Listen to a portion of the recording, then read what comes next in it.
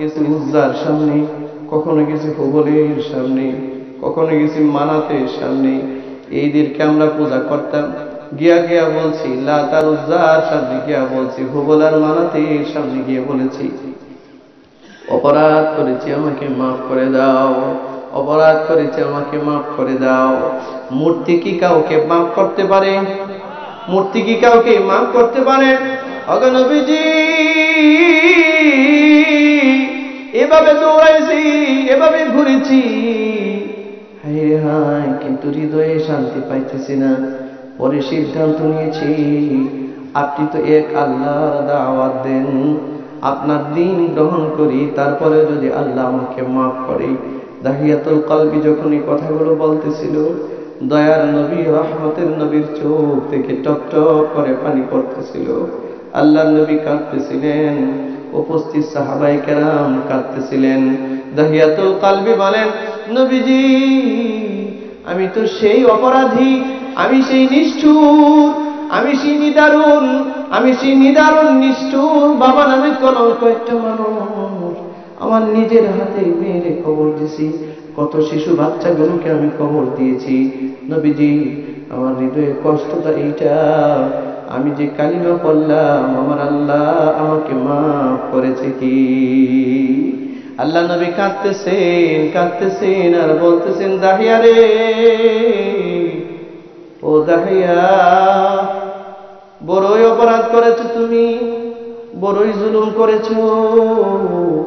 এই ছোট ছোট বাচ্চাগুলোর উপরে তুমি অনেক বড় জুলুম করেছ। দাহিয়া মানুষ সৃষ্টি করেছেন আল্লাহ। কোন মানুষ মানুষ মারতে পারে না। ঠিক না যদি বলি? আল্লাহর সৃষ্টি জীব মারা যায় না। দাহিয়া বড়ই জুলুম করেছ তুমি। দাহিয়া বড়ই জুলুম করেছ। এ দাহিয়া, যদিও বা মানুষ হত্যা করার গুণা করেছ তুমি, বুঝতে পেরেছ কালিমার দৌলত আল্লাহ তোমাকে দিয়েছেন। ইসলামে অনেক ধর্মের নাম। মা কানা ক্বাবলাহা ওয়াল হজ্জ ইয়াহদিম মা কানা ক্বাবলাহা ওয়াস সাফারু ইয়াহদিম মা কানা ক্বাবলাহা। ইসলামে অনেক ধর্মের নাম যে ইসলাম কবুল করে আল্লাহ তার অতীত জীবনের সব গুনাহ মাফ করে দেয়। আল্লাহু ইসলাম এমন এক দামি ধর্মের নাম যে ইসলাম একবার কবুল করে নেয়, তার অতীত জীবনের সব গুণা মাফ করে দেয়।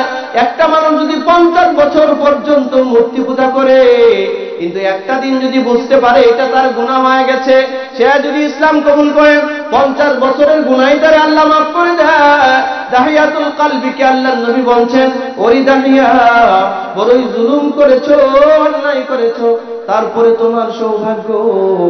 ইসলামের দৌলত আল্লাহ তোমাকে দিয়েছেন, তুমি কালিমা পড়েছ। আল্লাহ তোমাকে হয় মাফ করে দিয়েছেন। আর সামনের জিন্দিগিতে এমন অপরাধ করব না। প্রিয় বন্ধুরা আমার, প্রিয় বাবাজিরা আমার, সম্মানিতা মা বোনেরা আমার, যারা আমার এই কথাগুলো শুনছেন আমার এই কথার মূল পয়েন্টটা এই জায়গায়, দাহিয়াতুল কালবির মতো একজন মানুষ, যিনি নিজের মেয়েটাকে জীবন্ত কবর দিয়েছে, একটা দুইটা মেয়ে নয়, এরকম শত শত বাচ্চাগুলোকে দাহিয়াতুল কালবি নিজের হাতে কবর দিয়েছে? এরকম একজন মানুষ হত্যাকারী, এই মানুষ হত্যাকারীর সামনে আল্লাহ পাক দোয়া কবুল করে নিয়েছেন। আল্লাহ তাআলা দাহিয়াতুল কালবির কপালে ইমান দিয়ে দিয়েছেন। দাহিয়াতুল কলবি কালিমা পড়েছে, আর আবু লাহাবের মতো দুরাচার যে নবীজির আপন চাচা নবীর জন্মের সংবাদ শুনে যে ব্যক্তি তার বাণীকে আজাদ করে দিয়েছে, যেই ব্যক্তি রসুলকে নিরাপত্তা দিয়েছিল, তারপরেও তাকে আল্লাহ পাক হেদায়ত করে নাই।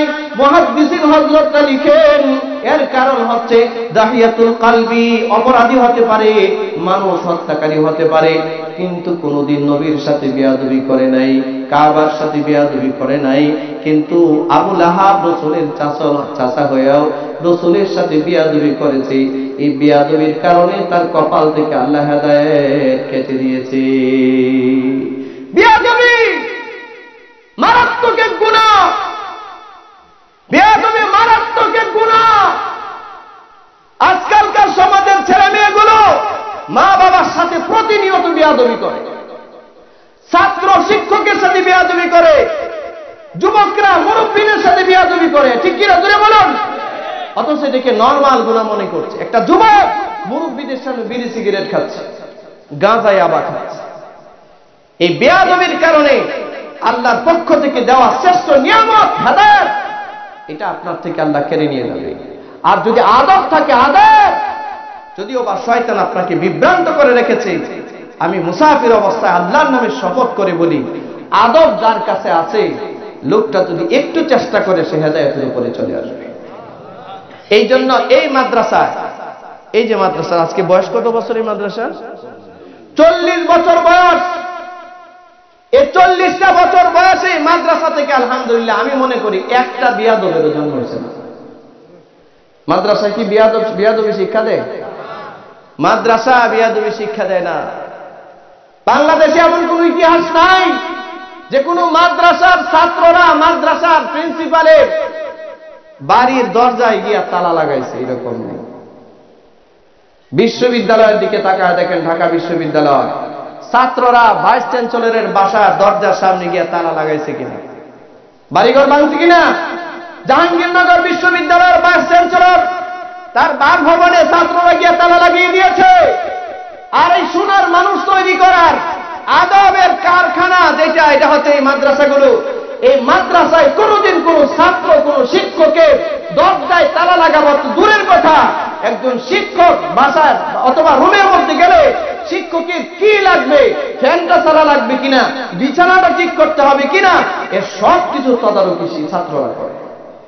এমনকি একটা ছাত্র লক্ষ্য করে শিক্ষকের জুতাগুলো যদি বাইরে পরে থেকে, জুতাগুলো সুন্দর করে সোজা করে রাখে।